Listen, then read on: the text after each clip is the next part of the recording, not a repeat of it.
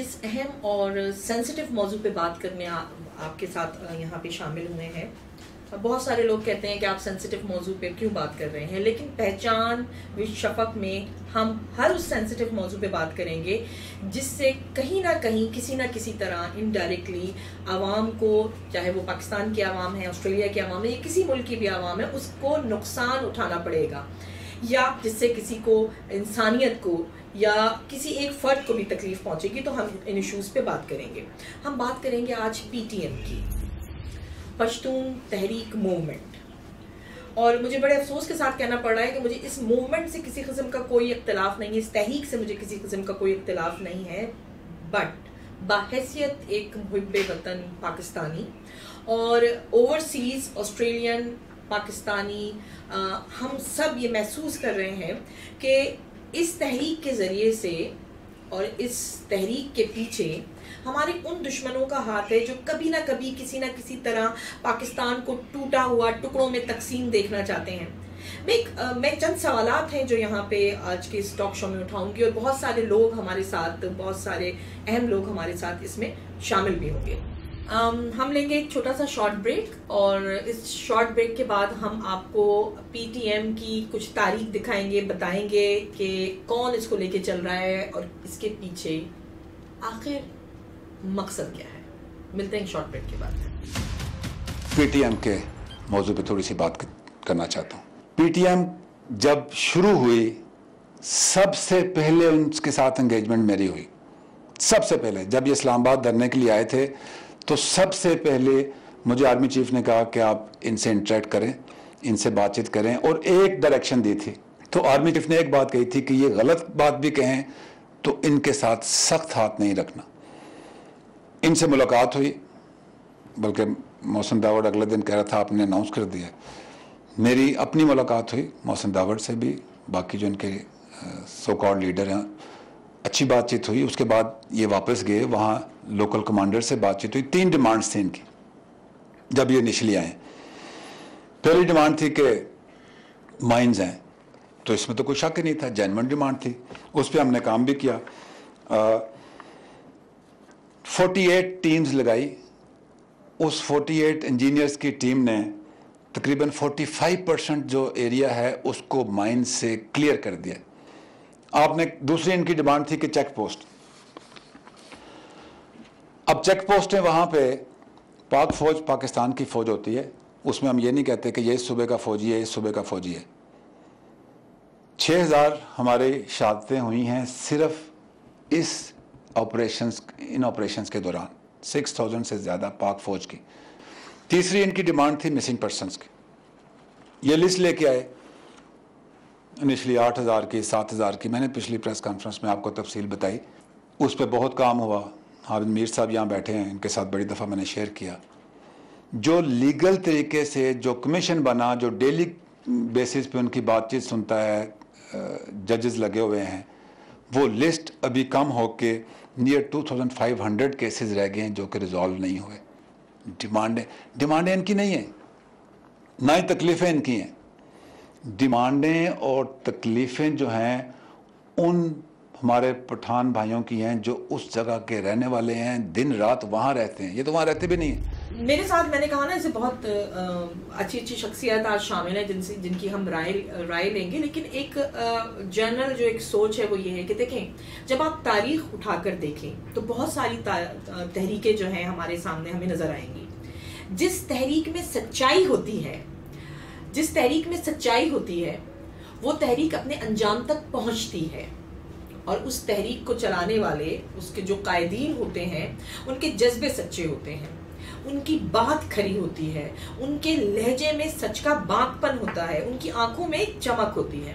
اب دیکھیں، تاریخ میں وہ تحریکیں کامیاب ہوئیں۔ بہت قربانیاں مانگی۔ ہر تحریک قربانی مانگتی ہے۔ ان تحریکوں نے قربانیاں مانگی۔ اور پر کیونکہ اس کے پیچھے مقصد تھا عوام کا یا اس اس تحریک سے منسلک قوم کی ترقی کرنا، آزادی حاصل کرنا وہ تحریکیں کامیاب لیکن جن تحریکوں کے پیچھے وہ قائدین کہ جو فنڈڈ ہوتے ہیں، جو پلانٹڈ ہوتے ہیں، جن کا مقصد کچھ اور ہوتا ہے، وہ تحریکیں نہ صرف یہ کہ ناکام بھی ہوتی ہیں اور بے انتہا خوریزی ہوتی ہے اس کا نتیجہ کیا نکلتا ہے؟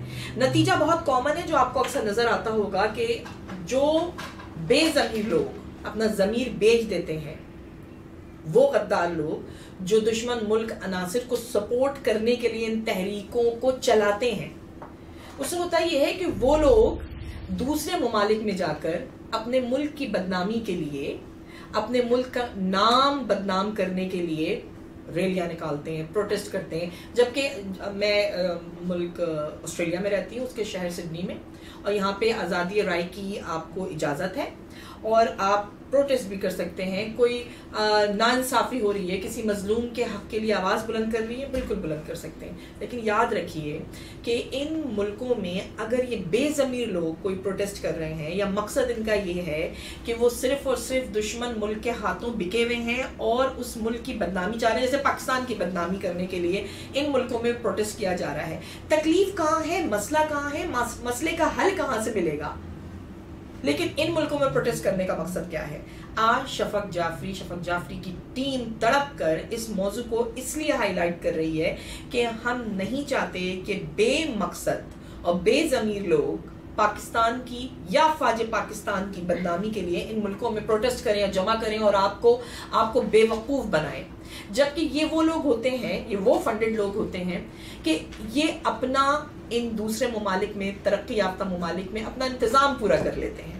پچھتی ہے تو وہ غریب عوام، وہ جذباتی عوام کہ جو اگر تکلیف میں ہے، بہت ساری عوام کا حصہ وہ ہے یا وہ لوگ ہیں جو تکلیف میں ہیں۔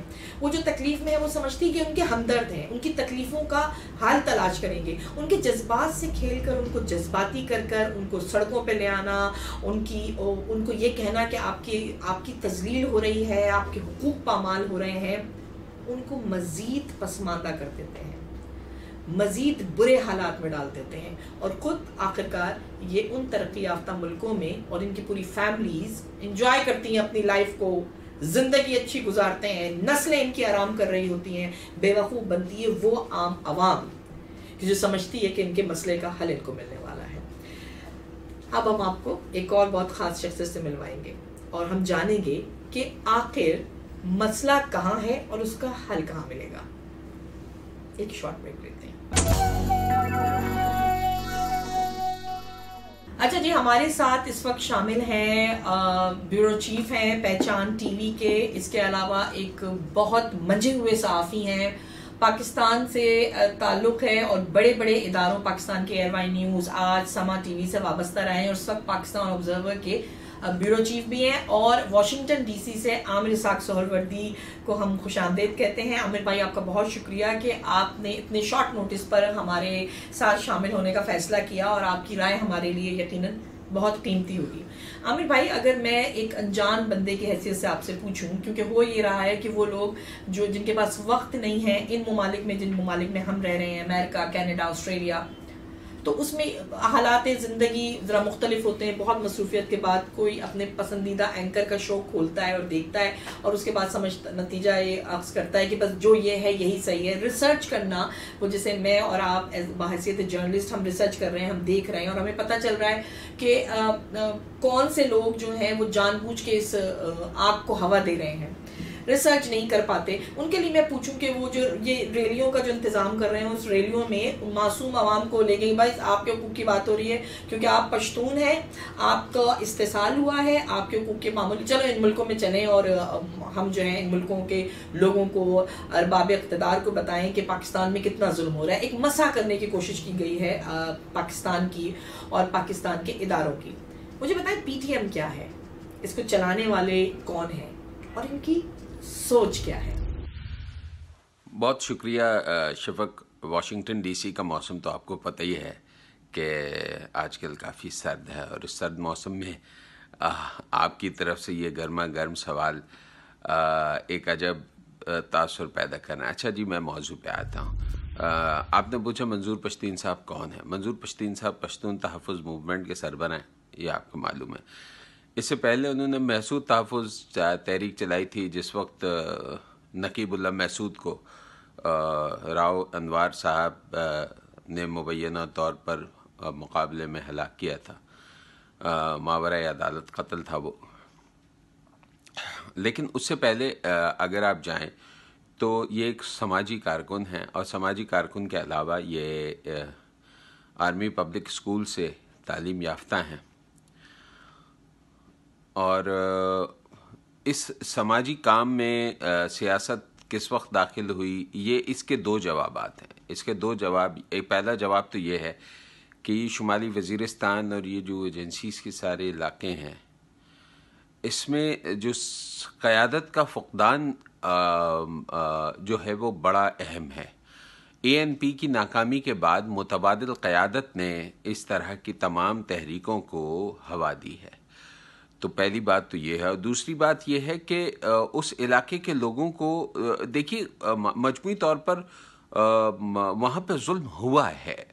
اب اس کا فیصلہ جو ہے، وقت کرے گا کہ کس نے وہاں پہ ظلم کیا ہے۔ لیکن وہ علاقہ طالبان کے زیر نگرانی رہا ہے۔ اور طالبان نے جس طرح کے مظالم ڈھائے ہیں، تو علمان الحفیظ اور اس کے بعد وہاں پہ بیت منانی جو ہے وہ بے پناہ ہے۔ اس کے کچھ ہمارے غلط سیاسی فیصلے بھی ہیں اور یقیناً کچھ چیزیں ایسی ہیں کہ جو جس پر ان کی تنقید جائز ہے۔ تو یہ ان کا ایک بریف سا خاکہ میں نے آپ کو بتایا ہے کہ وہ کیسے شروع ہوئے اور کہاں سے ان کا تعلق تھا اور کس طرح سے وہ آگے بڑھے ہیں۔ اور اب جو صورت حال ہے، اس پہ ہم آپ کے اگلے سوال میں بات کریں۔ میرے سروردی بھائی، آپ نے بہت تفصیل سے بتا دیا۔ میں مانتی ہوں کہ سیاسی فیصلے غلط ہوتے ہیں اور ہو سکتے ہیں، لیکن ان سیاسی فیصلوں کے غلط ہونے کی وجہ سے ہم اداروں کو گالیاں دیں یا برا بلا کہیں یا فاج پاکستان پہ سارا الزام لگا دیں، تو اس کو ہم کیسے کس تناظر میں دیکھیں گے آپ؟ نا، کیونکہ جب ہم ان ملکوں میں رہتے ہیں اور جب ان ملکوں میں ہم بحثیت سفیر کام کرتے ہیں اور پھر ہم اپنے ملک کا امیج اچھا کرنے کی کوشش کر رہے ہوتے ہیں اور پھر یہاں پہ بھی اس طرح کی ریلیاں نکالی جائیں تو ہم ہم کیسا محسوس کریں گے اور کیسے اس مسئلے کا حل تلاش حل تلاش کریں؟ وطن سے وفاداری کا کیا ثبوت ہونا چاہیے؟ سر، میں چاہوں گی کہ آپ اس کے بارے میں تھوڑی سی رائے دیں۔ دیکھیے، میں ایک بات جانتا ہوں کہ آپ بھی پاکستان سے باہر ہیں، میں بھی پاکستان سے باہر ہوں، لیکن ہمارے دل میں پاکستان دھڑکتا ہے۔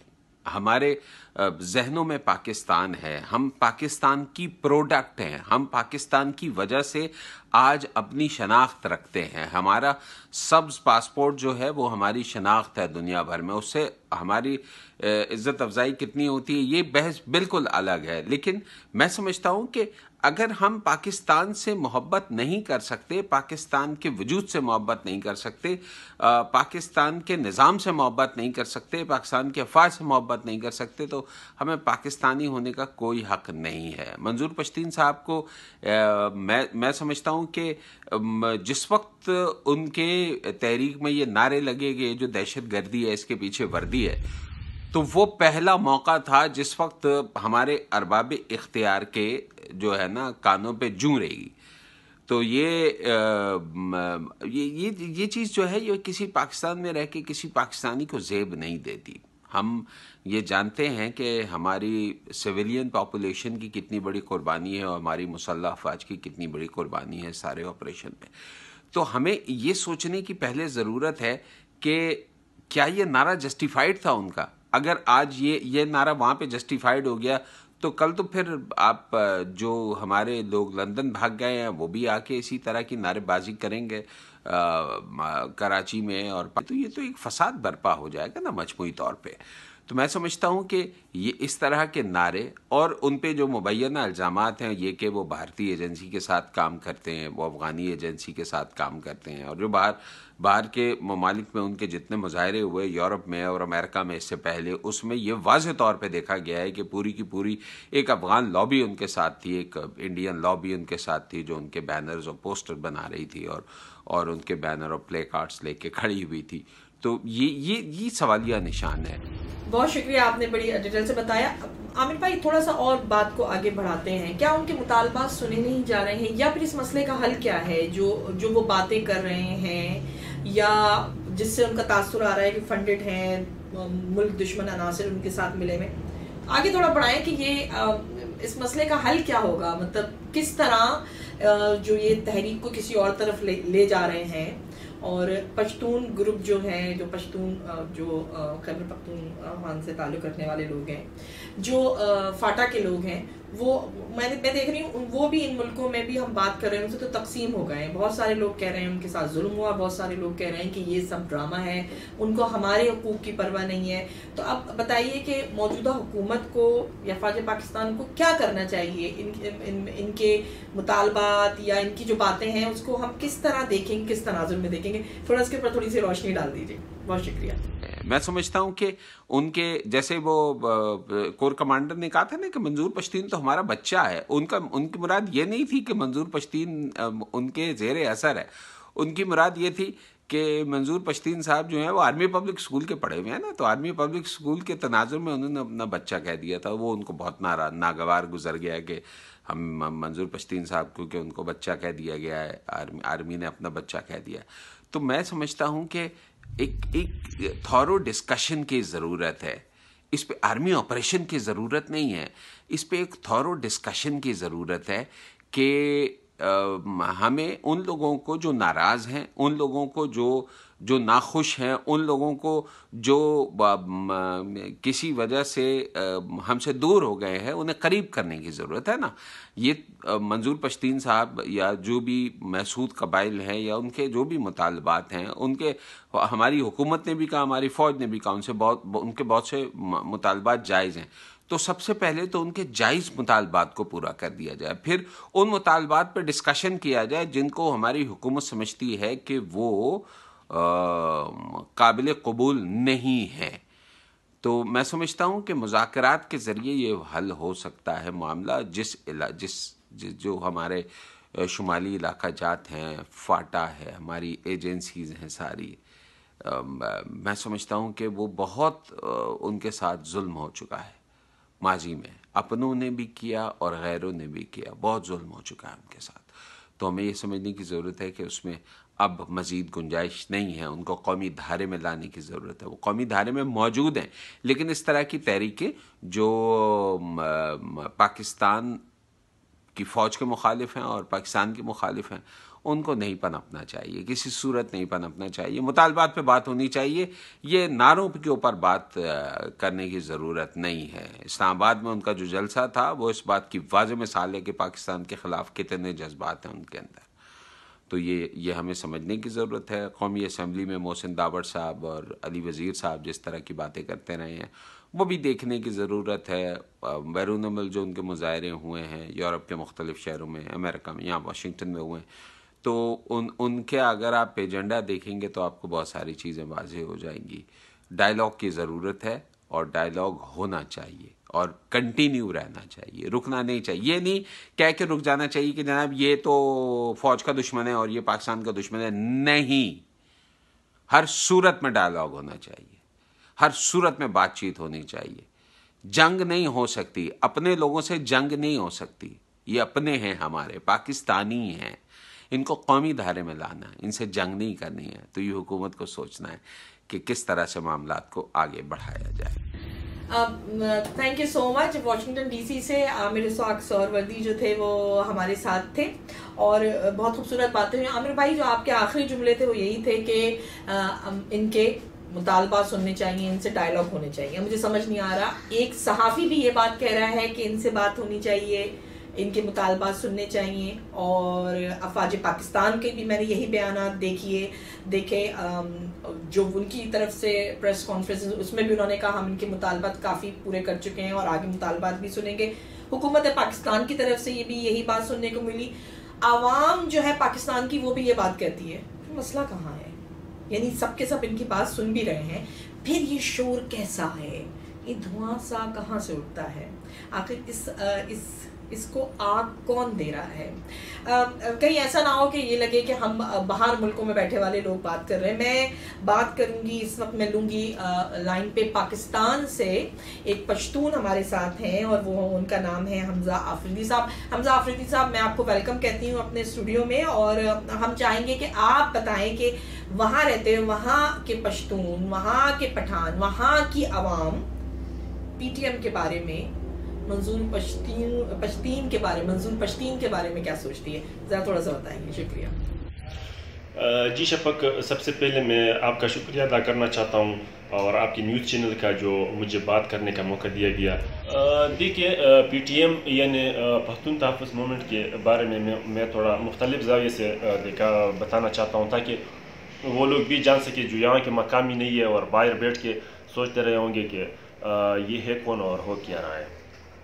جیسے اکثریتی لوگوں کو پتہ ہے کہ بدقسمتی سے ہمارے ملک اور آرمی کے خلاف مختلف ادوار میں سازشیں ہو رہے ہیں اور مختلف طبقہ لوگ اس میں استعمال ہو رہے ہیں جو بدقسمتی سے ہمارے کچھ جانے انجانے میں کچھ اپنے لوگ بھی ان کا حصہ بنے رہے جیسے کہ طالبان گروپ سے طالبان کے کرتوتوں اور کارناموں کے بارے میں سب جانتے ہیں، سب کو علم ہے۔ ایون کہ یہاں کے لوگوں کا اپنے ہی گھروں میں عزت بھی محفوظ نہیں تھی۔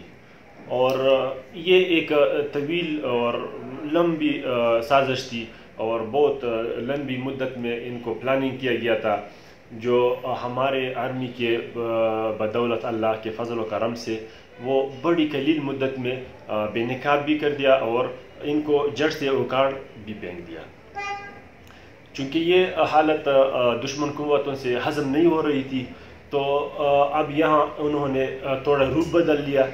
اور یہ ہم یہ کہہ دیں گے کہ ہمارا یہ منظور پشتین بھی ہمارا بھائی ہے، لیکن یوں سمجھو کہ وہ ایک نالائق بچہ ہے۔ اور انہوں نے بھی یہ اس سازش کا حصہ بنے رہے اور بنتا جا رہا ہے۔ چونکہ سٹارٹ میں ان کے مطالبات جو تھے وہ آئینی طریقے سے تھے جو بہت سے مطالبات ان کے منوائے بھی گئے۔ لیکن جی جو جو ان کے مطالبات مانے گئے، یہ لوگ آگے جاتے ہوئے چہرے بدلتے رہے۔ جو چہرے بدلتے گئے اور مختلف طریقوں سے انتشار پھیلانے کی کوشش کی گئی ہے۔ جو بدقسمتی سے ہمارے کچھ جانے انجانے میں ایسے لوگ، ہمارے اپنے بھائی ہے جو ان کو یہ نہیں علم کہ یہ لوگ کس طرح ہتھ کنڈے استعمال کر رہے ہیں اور یہ لوگ کس کو مقاصد، کس کے مقاصد کو کامیاب بنانے کی کوشش کرتے ہیں اور کس کی سازش کا حصہ بنتے جا رہے ہیں۔ تو میرا مطلب یہ ہے کہ یہ پشتین بھی ہمارا بھائی ہے، کوئی پرائی نہیں ہے، لیکن ان کو بھی یہ سوچنا چاہیے کہ یہ آرمی کسی دوسرے ملک سے نہیں آئی ہے، یہ ہمارے اپنی بھائی ہے، ہمارے اپنے جوان ہیں، یہ وہی جوان ہے میں یہ مختصر یہ کہوں گا کہ ہم احسان فراموش لوگ ہیں۔ وہی آرمی جو جانوں کا نظرانہ پیش کرتے ہوئے ہمارے ملک اور ہمارے عوام کی اور ہماری عزتوں کی تحفظ یقینی بنائی ہے انہی کے خلاف ہم سازشیں بناتے رہے اور انہی کے خلاف ہم استعمال ہو رہے۔ تھینک یو سو مچ حمزہ صاحب، آپ نے بھی اپنی دل کی بات ہم ہمارے ساتھ شیئر کی۔ میں تھوڑا سا اور آگے آپ ہی کو بولنے کا موقع دیتی ہوں۔ ایز اے پاکستانی اور ایز اے پشتون، آپ کیا کہیں گے جو ان کا نعرہ ہے پی ٹی ایم کا؟ کہ یہ جو دہشت گردی ہے، اس کے پیچھے وردی ہے۔ اور پھر آپ ہماری تکلیف کو بھی سمجھیں گے کہ ہم جب ان ملکوں میں رہتے ہیں تو ہمیں یہ کتنی تکلیف دے یہ جملہ، یہ نعرہ لگتا ہے۔ اس کے بارے میں بھی کیونکہ آپ وہاں بیٹھے ہوئے پاکستان میں اور آپ دوسرے پشتون سے بھی آپ رابطے میں ہوں گے، تو مجموعی طور پر آپ سب لوگ کیا کہتے ہیں اس نعرے کے بارے میں؟ تھوڑا سا اس کے بارے میں بتا دیجیے بہت شکریہ۔ اب دیکھتے یہ کہ یہ ان کا جو نعرہ ہے کہ یہ جو دہشت گردی ہے، اس کی پیچھے وردی ہے۔ اب سمجھنے والے سمجھتے ہیں کہ یہ اپنی مثال آپ ہے یہی بات۔ آپ مثال کے طور پہ جا کے کسی اور ملک، چاہے وہ ترقی یافتہ ملک ہو یا ترقی پذیر ملک ہو، جا کے ان کے آرمی یا کوئی سرکاری سرکاری ڈپارٹمنٹ کے بارے میں ان کی مخالفت یا ان کے مخالف بات کر لے، تو تب آپ کو پتہ چلے گا کہ پاکستانی آرمی اپنے بچوں، اپنے بھائیوں اور اپنے عوام کے ساتھ کتنا مخلص اور کتنا حوصلے سے کام لیتی ہے۔ یہ کسی ملک میں الاؤ نہیں ہے کہ آپ جا کے ان کے سرکاری ڈپارٹمنٹ کے بارے میں مخالفت والی بات کہیں۔ یہی منظور پشتین اور ان، انہی کے ساتھ جو لوگ ہیں یہی ادھر ہمارے درمیان میں رہتے ہوئے ہمارے آرمی کی مخالف کرتا رہتا ہے سازشیں کرتے رہتے ہیں۔ مختلف طریقوں سے، مختلف ہیل و بہانوں سے انتشار بھی پھیلاتے رہے، نعرے بھی لگاتے رہے۔ لیکن میرے اندازے کے مطابق ہمارے آرمی کی یہی بڑا ثبوت ہے اپنے عوام کے ساتھ محبت کا کہ ان کے درمیان میں ہوتے ہوئے بھی کسی کو نہ پھانسی پہ لٹکایا، نہ کسی کو عمر قید سزا سنایا۔ یہی سوچ کے کہ چلو ہمارے اپنے بچے ایک دن سمجھ آ جائے گا۔ ایک دن یہ دشمن قوتوں کے یہ منصوبے اور سازشیں ان کو خود سمجھ آ جائے گی۔ لیکن میں کہتا ہوں کہ بدقسمتی سے شاید وہ ہمارے ایسے یہ ہاں، لوگ اس وقت جان جائیں گے کہ اس اس وقت تک ہمارا بہت بڑا نقصان ہوا ہوگا، اللہ نہ کرے۔ اور انشاءاللہ ہم اپنے آرمی اور اپنے اداروں سے بڑی پر امید ہے۔